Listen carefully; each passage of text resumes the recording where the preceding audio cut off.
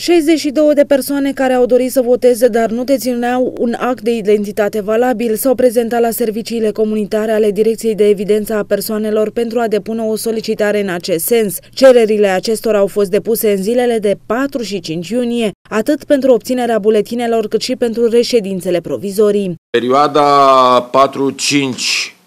iunie 2016, în preziua alegerilor și în ziua alegerilor, la serviciile publice comunitare locale de venința persoană de praza județului Giurgiu s-au prezentat 62 de persoane care au obținut acte de, de identitate, din care 37 de cărți de identitate și 25 cărți de identitate provizorii. Personalul de la Evidența Informatizată a Persoanelor Giurgiu au avut program de lucru cu publicul în data de 4 iunie între orele